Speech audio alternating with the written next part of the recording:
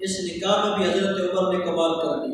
हज़रत उमर रज़ी अल्लाह ने हज़रत हसन हुसैन की बहन उम्म कुलसूम से जब निकाह किया तो आम दिरहम सैकड़ों में चल रहा था, पाँच सौ दिरहम महल जो चल रहा था औरतों का, पाँच सौ दिरहम, चार सौ दिरहम, इस तरह। लेकिन हज़रत उमर ने हज़रत उम्म कुलसूम के एजाज़ में कि ये रसूल सल्ला अलैहि वसल्लम की नवासी है, ये कोई आम औरत नहीं है।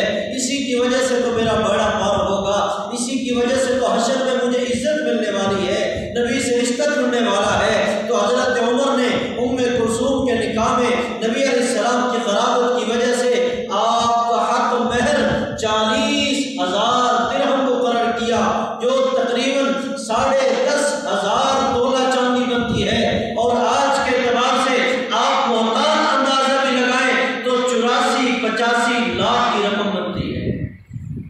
हक, महर आज के दौर से कितना माना जा रहा है?